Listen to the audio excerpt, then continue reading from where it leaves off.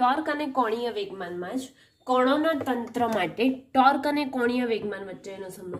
આપણે કોણીય વેગમાન અને તેના પર લાગતા ટોર્કનો સંબંધ મેળવ્યો, તે જ રીતે શેનો મેળવવાનો છે? ટોર્ક અને કોણીય વેગમાન. તો પહેલાં આપણે ટોર્ક વિશે જાણીએ છીએ. તો કોઈ પણ ઉગમ બિંદુને અનુલક્ષીને કણોના તંત્રનો કુલ વેગ, કુલ કોણીય વેગમાન મેળવવા માટે બધા કણોના કોણીય વેગમાનનો શું કરવો પડે છે? સરવાળો કરવો પડે? તો ઉગમ બિંદુને અનુલક્ષીને, ઉગમ બિંદુ ને અનુલક્ષીને કણોના તંત્રનું કુલ કોણીય વેગમાન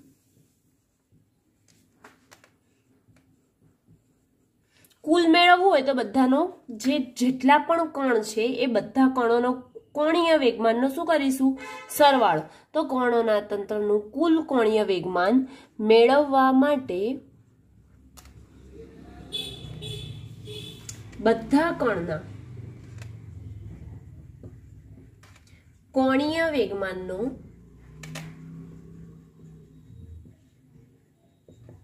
સદિશ સરવાળો. હવે સદિશ સરવાળો કરીએ આપણે, તો શું થશે? ધારો કે મારી પાસે એન કણ છે, તો એન કણોના તંત્ર માટે. એવા કેટલા એન કણ છે? એટલે કે કેટલા કોણીય વેગમાન હશે? એન કોણીય વેગમાન હશે. માટે કુલ કોણીય વેગમાન એલ બરાબર L one plus L two up to ક્યાં સુધી જઈશું? એલ એન સુધી. હવે એલ એન સુધી ગયા. તો સમેશન, આ જે છે, તો આ મારું ક્યાં સુધી છે? વનથી લઈને એન સુધી છે. તો હું આને ધારો કે summation I is equal to one to એનથી સદીશ એલઆઈ નામ આપી દઉં. તો આ મને કુલ કોણીય વેગમાન મળ્યું. સમેશન અથવા તો સિગ્મા, એટલે આ બધાનો શું થઈ ગયો? સરવાળો. તો summation I is equal to one to N સદીશ એલઆઈ હવે આપણે કોણીય વેગમાન બરાબર શું લખીએ છીએ? તો તેનો કણનો સ્થાન સદિશ ગુણ્યા રેખીય વેગમાન નો સદિશ ગુણાકાર. તો માટે લખીએ આપણે કે સદિશ એલ આઈ બરાબર. સદિશ આર આઈ ક્રોસ સદિશ પી આઈ એટલે શું લખીશું? ક્યાંથી ક્યાં સુધી? આઈ એટલે વનથી લઈને ક્યાં સુધી જઈશું? એન સુધી. બરાબર? હવે આર આઈ આર આઈ એટલે શું? તમારે જો લખવું હોય તો લખી શકો. આર આઈ એટલે આઈમાં કણનો સ્થાન સદીશ અને પીઆઈ એટલે આઈમાં કણનો કોણીય વેગમાન અને એલઆઈ રેખીય વેગમાન અને એલ આઈ એટલે શું થશે? આઈમાં કણનું કુલ રેખીય વેગમાન. માટે આપણે લખી શકીએ કે આ જે ટોટલ છે, શું આવ્યું? Summation I is equal to one to N L I સદીશોનો સરવાળો આવ્યો. તો એ જે સદિશોનો કોણીય વેગમાનનો સરવાળો આવ્યો, ધારો કે હું એને કેપિટલ એલથી દર્શાવી દઉં, તો કેપિટલ એલ બરાબર summation I is equal to one to N શું મળ્યું? એલઆઈ હવે એલઆઈની જગ્યાએ આપણે આ કિંમત મૂકીએ આ સમીકરણમાં, તો શું થઈ જશે? સદિશ એલ બરાબર સદિશ આર આઈ ક્રોસ સદિશ પીઆઈ આપણે આ જે કિંમત છે તે આની જગ્યાએ મૂકી એલઆઈ ની જગ્યાએ આ કિંમત મૂકી, તો શું આવ્યું આપણું? સદિશ આરઆઈ ક્રોસ સદીશ પીઆઈ પરંતુ summation i is equal to one to n તો બાકી ને આપણું? માટે એ તો લખીશું. Summation i is equal to one to n સદીશ આરઆઈ ક્રોસ સદીશ પીઆઈ હવે આ જે સમીકરણ ધારો કે નંબર એક છે, તો સમીકરણ એકનું કોની સાપેક્ષે વિકલન કરીશું? ટી ની સાપેક્ષે. તો સમીકરણ એકનું ટી ની સાપેક્ષે. વિકલન કરતા. હવે વિકલન કરીએ તો શું આવે? શું થઈ જશે? R I cross P I. R I cross P I કરીશું તો શું થશે? D L by D T બરાબર. Summation I is equal to one to N એને સામે એમને જ રાખીએ. તો આપણે આના આગળના જ જે ટોપિક હતો, શું હતો કે ટોર્ક આમાં કોણીય વેગમાન અને ટોર્ક વચ્ચેનું સંબંધ મેળવ્યું, એમાં આરઆઈ ક્રોસ પીઆઈ એમનો સદીશ ગુણાકાર કર્યો હતો ને, એટલે કે આપણે વિકલન કરીને એમનો સદીશ ગુણાકાર કરીને મેળવ્યું હતું, તો આપણને શું મળતું હતું? આર ક્રોસ એફ ખાલી મળતું હતું? જો આગળ, તો તમને ખબર પડશે. તો tau is equal to R cross F મળ્યું હતું? નહીં તો ચલો આપણે જોઈ લઈએ, અહીંયા પણ એ જ વસ્તુ, ફરીથી. Summation I is equal to one to N એમનું એમ પહેલું પદ એમનેમ બીજા પદનું વિકલન. વત્તા. બીજું પદ એમનેમ પહેલા પદનું વિકલન. બરાબર? આ જોયું તું? હવે ડીઆરઆઈ બાય ડીટી એટલે શું લખ્યું તું? સદીશ વી લખ્યું હતું જ્યારે ડીપીઆઈ બાય ડીટી બરાબર શું લખ્યું હતું આપણે? ડીપીઆઈ બાય ડીટી બરાબર લખ્યું હતું સદીશ એફ આપણે એની કિંમત મૂકીએ. તેથી ડીએલ બાય ડીટી બરાબર શું થઈ જશે? Summation I is equal to one to N R I એમનો એમ cross D P I by D T એટલે શું થશે? સદીશ એફ વત્તા સદીશ P I cross D R I by D T સ્થાનાંતર છેદમાં સમય એટલે સદીશ વી પરંતુ સદીશ વી છે એ આ બંનેની દિશા કેવી છે? સમાન છે. દિશા સમાન હોય તો થીટા બરાબર શું થઈ જાય? શૂન્ય થાય. શેના માટે? પી અને વી માટે. બરાબર? તો થીટા ઝીરો થાય તો આ કિંમત કેવી થઈ જશે? ઝીરો માટે d l by d t બરાબર summation i is equal to one to n સદિશ આરઆઈ ક્રોસ સદીશ એફઆઈ આવું લખી શકીએ આપણે? બરાબર? તો હવે સદિશ એફઆઈ એફઆઈ શું છે? તો જે આઈ કણો છે, તો એ કણ પર લાગતા બાહ્ય બળ છે. લખવું હોય તો લખી શકો. એફઆઈ એટલે કણ પર લાગતા બાહ્ય બળ. ઓકે? હવે અને તંત્રના બીજા કણો પર લાગતા આંતરિક બળોને આપણે એફ મિનિમમ વડે દર્શાવીશું અથવા તો એફ ઇન્ટરનલ ઓકે? તો હવે લખીએ સદિશ સરવાળો. કોનો? પહેલા એફ નો લખીશું, પછી આર નો લખીશું. તો એફનો સદિશ સરવાળો કરીએ એટલે કે ટોટલ જેટલા કણો છે બધાનો ઇન્ટરનલ અને એક્સટર્નલ બાહ્ય બળો અને આંતરિક બળો, એ બંનેનો શું કરીશું? સરવાળો. તો આપણને ટોટલ મળશે માટે સદિશ એફ આઈ બરાબર એફ આઈ એક્સટર્નલ એટલે કે બાહ્ય બળો, વત્તા એફ આઈ ઇન્ટરનલ એટલે કે આંતરિક બળો. એવી જ રીતે આપણને R cross R cross F એટલે શું કહીએ? ટોર્ક કહીએ? આર ક્રોસ એફ એટલે ટોર્ક કહીએ. તો ટોર્ક પણ આંતરિક અને બાહ્ય બંને આવશે. માટે ટોટલ ટોર્ક ટાઉ આઈ બરાબર શું થઈ જશે? Tau I external plus tau I internal હવે, સદીશ ટાઉ એક્સટર્નલ બરાબર સમેશન સદિશ R I cross F I external એવી જ રીતે સદિશ ટાઉ ઇન્ટરનલ બરાબર થઈ જશે સમેશન આર આઈ ક્રોસ સદીશ એફ આઈ ઇન્ટરનલ ઓકે હવે જો તંત્ર પરના કણો વચ્ચે લાગતા બળો સમાન આ જે તંત્ર પર બળો લાગે છે ઇન્ટરનલ અને એક્સટર્નલ બાહ્ય અને આંતરિક, બંને બળો લાગે છે, તો એ જે બળ લાગે છે, એમના બળોના મૂલ્ય સમાન છે, પરંતુ તેમની દિશા વિરુદ્ધ હોય છે. અને તેમની જે રેખા જોડતી હોય તે, તેના પર કુલ ટોર્ક આંતરિક બળો શું થઈ જાય છે, શૂન્ય થઈ જાય છે. એમની જે રેખા જોડે છે, એ રેખા પર હોય છે. તેથી તંત્ર પર કુલ ટોર્કના આંતરિક બળો જે છે એ કેવો ફાળો આપે છે? શૂન્ય ફાળો આપે છે. માટે tau internal is equal to zero પડી ખબર? કેમ કે એમની રેખા શું હોય છે? એકબીજાને જોડતી હોય છે. અને એ જોડતી હોય તેથી તંત્ર પરના કુલ ટોર્કમાં આંતરિક બળોનો ફાળો હોતો નથી. આંતરિક બળોનો ફાળો ના હોય ધેટ મીન્સ એ કેવા છે? શૂન્ય. આ શૂન્ય હોય તો આખું પદ શૂન્ય થાય માટે ટોર્ક આંતરિક માટે શું છે? શૂન્ય. હવે એવી જ રીતે ટાઉ બાહ્ય માટે જોઈએ. તો હું આટલું અહીંયા રફ કરી દઉં છું. જો તમારે ઉતારવાનું હોય તો વીડિયો પોઝ કરીને લખી શકો છો.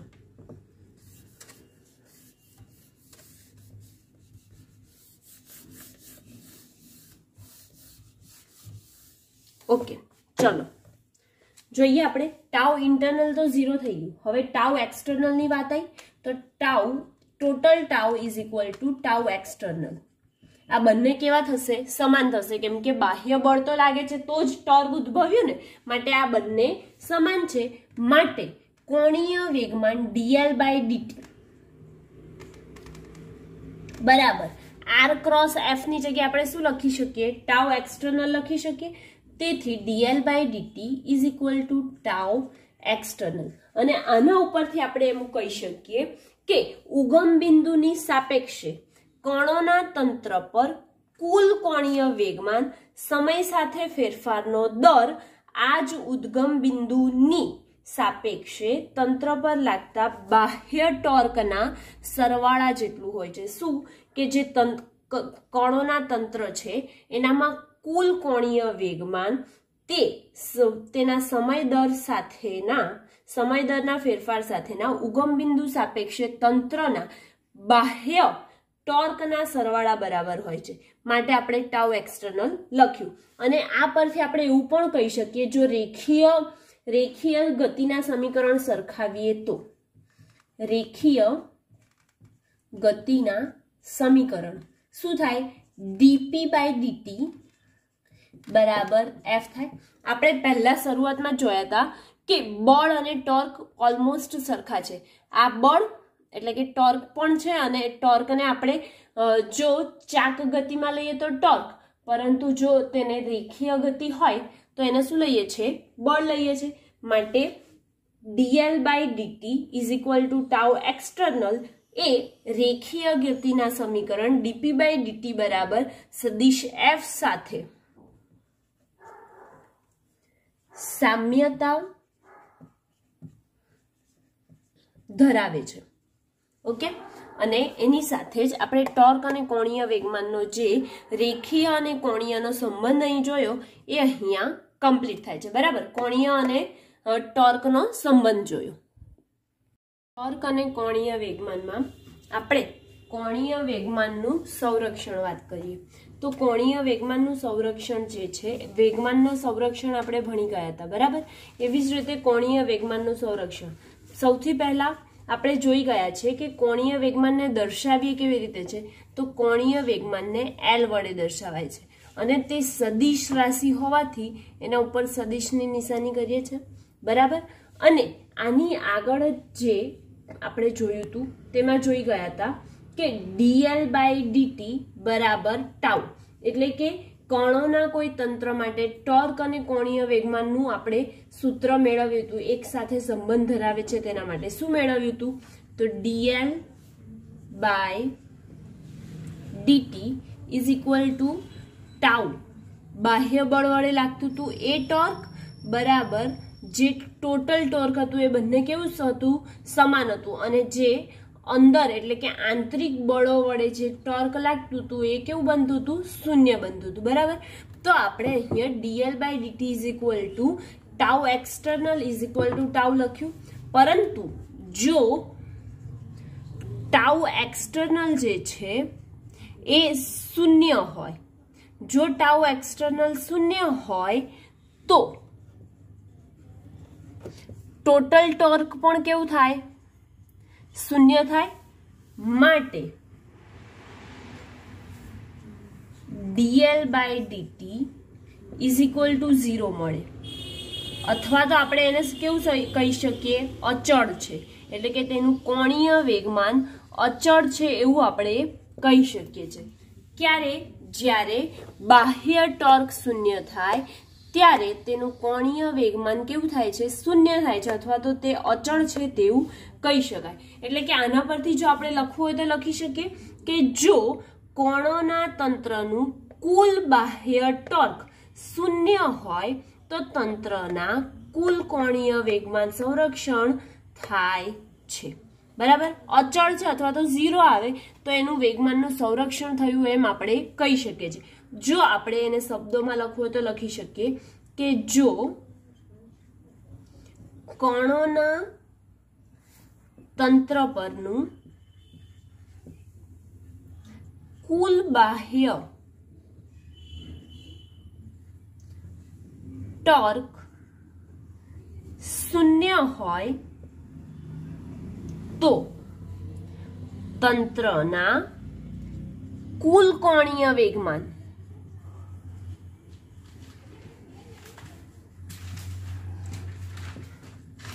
વેગમાનનું શું થાય છે?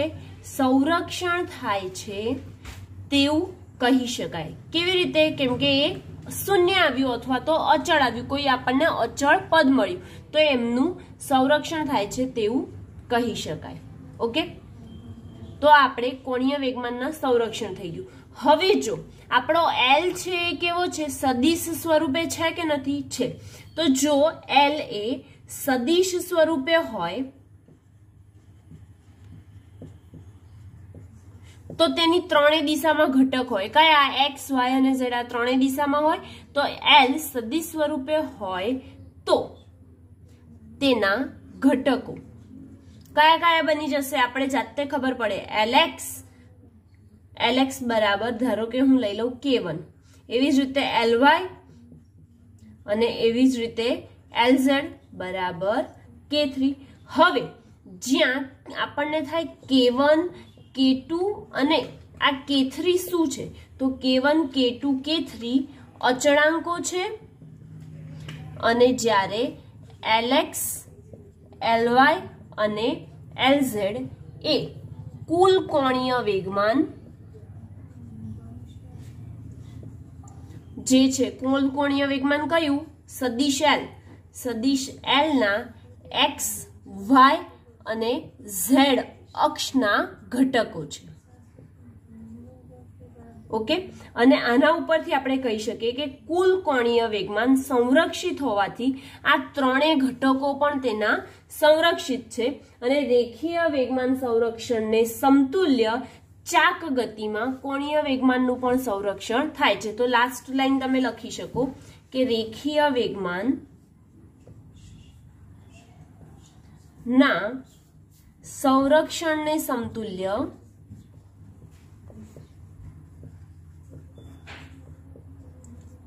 ચાક ગતિમાં પણ. કોણીય વેગમાનનું સંરક્ષણ થાય.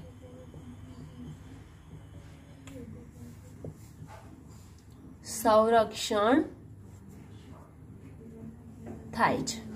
ઓકે? અને જે કોણીય વેગમાન સંરક્ષણનો જે આપણે સમજૂતી હતી, એ અહીંયા એની સાથે કમ્પ્લીટ થાય છે.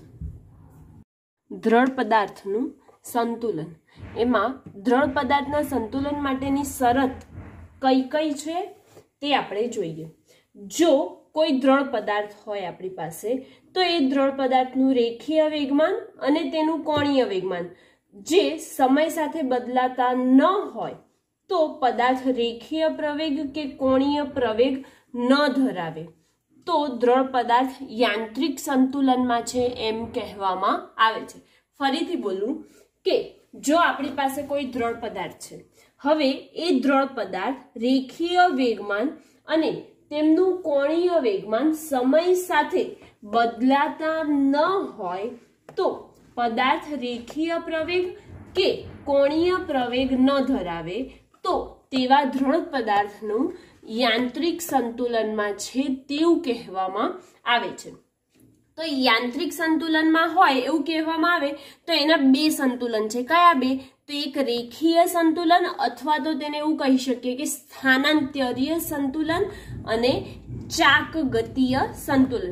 તો હવે આપણે રેખીય સંતુલન અને ચાક ગતિય સંતુલન. આ બંનેની ચર્ચા કરીશું, એટલે કે એની શરત વિશેની ચર્ચા કરીશું. તો એ પહેલા આપણે જે એક પોઈન્ટ હતો તે લખી કાઢીએ કે જો દ્રઢ પદાર્થ રેખીય વેગમાન અને કોણીય વેગમાન સમય સાથે બદલાતા ન હોય તો પદાર્થ રેખીય પ્રવેગ અને શું આવશે? કોણીય પ્રવેગ. અહીં રેખીય વેગમાન અને કોણીય વેગમાન હતું. તો અહીં શું આવશે? તો પદાર્થ રેખીય પ્રવેગ કે કોણીય પ્રવેગ?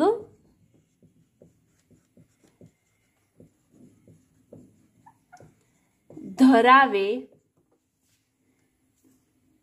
પ્રવેગ ન ધરાવે. તો દ્રઢ પદાર્થ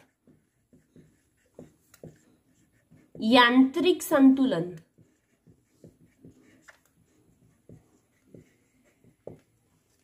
કહેવાય. હવે જો યાંત્રિક સંતુલનમાં છે એવું કહેવાય તો એના બે પાર્ટ પડે. કયા બે પાર્ટ? એક તો રેખીય સંતુલન અને બીજું, રેખીય સંતુલનને જો બીજા શબ્દોમાં કેવું હોય, તો તેને સ્થાનાંતરીય સંતુલન પણ કહેવામાં આવે છે. રેખીય સંતુલન અને બીજું કયું? તો ચાક ગતીય સંતુલન. હવે આપણે રેખીય સંતુલનની વાત કરીએ. તો રેખીય સંતુલનમાં શું આવશે? રેખીય સંતુલન. હવે રેખીય સંતુલન તો જો આપણી પાસે કોઈ દ્રઢ પદાર્થ છે, એ દ્રઢ પદાર્થ પરનું કુલ બળ, એટલે કે બળોનો સદિશ સરવાળો શૂન્ય હોય, તો એ બધાનો સરવાળો શૂન્ય હોય, તો શું થશે? તેમનું કુલ વેગમાન સમય સાથે બદલાતું નથી. અને આ જે છે, એ રેખીય સંતુલનની શરત છે એવું કહેવામાં આવે છે. આપણે લખી કાઢીએ પહેલા કે જો કોઈ દ્રઢ પદાર્થ છે, તો એ દ્રઢ પદાર્થનું કુલ બળ એટલે કે બળોનો સદિશ સરવાળો શૂન્ય હોય તો. હવે સદિશ સરવાળો શૂન્ય હોય તો ધેટ મીન્સ શું થયું? કે એ બધાનો જે ટોટલ બળ છે એમનો સદિશ સરવાળો કરે. તો ધારો કે F one plus F two plus ક્યાં સુધી જશે? એફ એન સુધી જશે. તો આ બધાનો સરવાળો શૂન્ય થાય ત્યાં સુધી જો શૂન્ય હોય તો તેનું કુલ વેગમાન પણ શું હોય છે? તો તેનું કુલ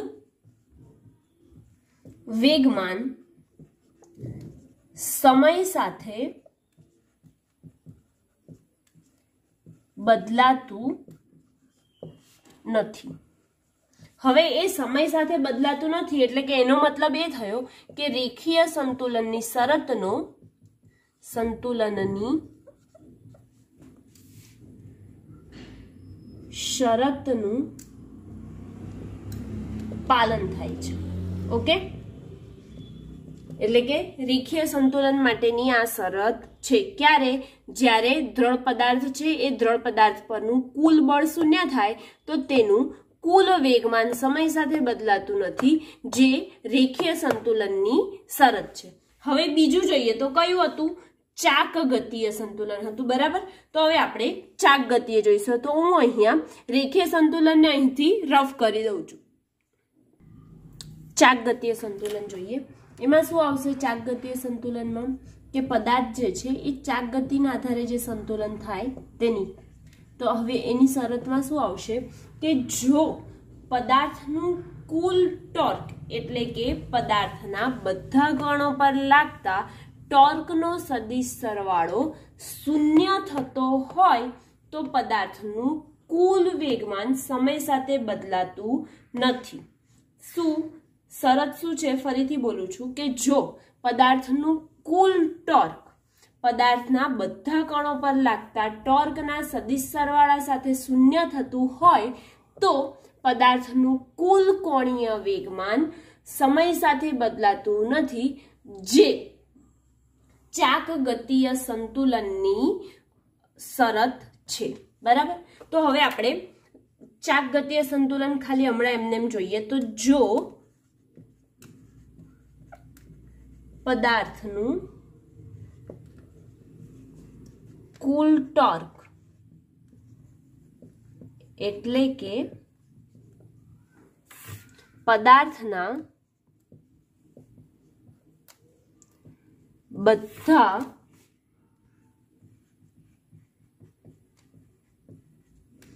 કણો પર લાગતા.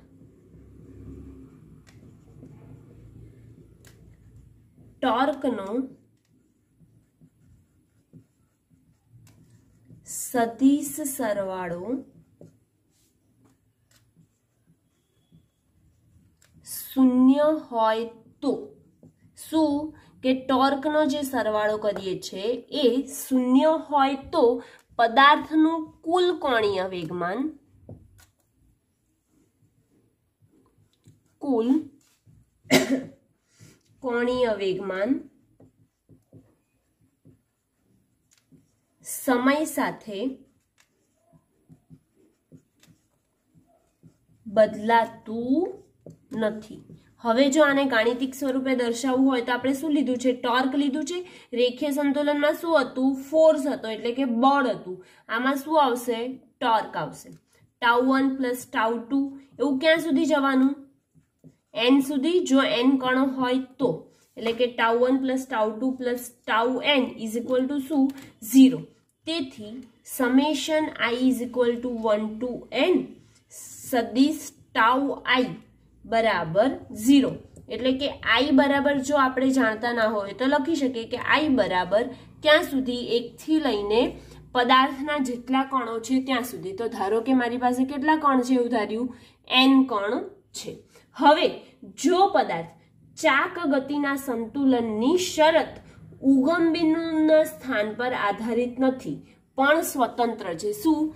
કે જે ચાક ગતિના સંતુલનની શરત છે, તે ઉગમ બિંદુના સ્થાન પર આધારિત નથી, પણ તે સ્વતંત્ર છે. તો આજે આપણે સમીકરણ લખીએ છીએ. તો એ સમીકરણ પરથી આપણે લખી શકીએ કે સમેશન, સમીકરણ એક જે લખ્યું હતું ને આપણે, રેખીય સંતુલનનું, તો એના પરથી લખી શકીએ કે summation I is equal to one to N સદીશ F I X is equal to zero હવે ચાક ગતિય છે એટલે કે એની બધી અક્ષ હશે એક્સ વાય ઝેડ તો એ બધી અક્ષમાં એના યામ લખીએ તો સદીશ F I X is equal to zero એવી જ રીતે F I Y is equal to zero અને F I Z is equal to zero આવું લખી શકીએ. જે રેખીય સંતુલનનું હતું, એ સમીકરણ નંબર બે હતું. તો ધારો કે આને હું સમીકરણ નંબર શું કહી દઉં? ત્રણ. અને આપણે જાણીએ છીએ કે જ્યાં આઈ બરાબર છે one two three up to ક્યાં સુધી? એન કણો છે ત્યાં સુધી. અને F I X F I Y અને એફઆઈ ઝેડ એ અનુક્રમે સદીશ એફઆઈ ના એક્સ વાય ઝેડ ના અક્ષ પરના ઘટકો છે. એવી જ રીતે હું આપણે શેના માટે લખી શકીએ? ટાઉ માટે લખી શકીએ? તો ટાઉ માટે લખીએ તો શું લખી શકશો? કે summation I is equal to one to N સદિશ tau I X is equal to zero summation I is equal to one to N સદીસ tau is tau I Y equal to zero અને summation I is equal to one to N સદિશ tau I Z equal to zero હવે આ બધા બરાબર zero લખ્યું. તો હવે આપણે જાણીએ કે જ્યાં આઈ એ શું છે? એકથી લઈને એન સુધીના પદાર્થના કણો છે. અને તેવી જ રીતે સદિશ ટાઉ આઈ એ એક્સ વાય ઝેડ અક્ષ પરના ઘટકો છે. હવે આ બધું છે રેખીય સંતુલન અને ચાકગતીય સંતુલન જોયું, તો એના પરથી કહી શકીએ કે કોઈ દ્રઢ પદાર્થના યાંત્રિક સંતુલન માટે જરૂરી એવી છ સ્વતંત્ર અને અદિશ સ્વરૂપે શરતો છે. કઈ છ શરતો થઈ? એક, બે, ત્રણ, ચાર, પાંચ અને છ. સ્વતંત્ર અને એ અદિશ સ્વરૂપે તેમની શરતો છે. હવે જો એક જ સમતલમાં લાગતા બળ માટે તે બળના બે લંબ અક્ષ પરનો ઘટક લેવામાં આવે, તો એ ઘટકોનો સરવાળો શૂન્ય થવો જોઈએ, તો જ અવકાશમાં લાગતા બળ જે છે એ પરસ્પર લંબ અક્ષો અને સરવાળો શૂન્ય થાય છે, ઓકે? એટલે કે આપણે ખાલી રેખીય સંતુલન અને ચાગતીય સંતુલન જોઈએ, તો રેખીય સંતુલનમાં શું આવશે યાદ રાખવાનું? કે બળ આવશે. જ્યારે ચાગતીય સંતુલન હોય તો શું યાદ રાખવાનું? કે તેમાં ટોર્ક આવશે. અને આમાં બળ શૂન્ય થશે અને આમાં એનું ટોર્ક શૂન્ય થશે. તો એ વેગમાન સમય સાથે બદલાતું નથી અને અહીં પણ વેગમાન સમય સાથે બદલાતું નથી, ઓકે? એટલે કે આ ક્વેશ્ચન જે છે અહીંયા કમ્પ્લીટ થાય છે.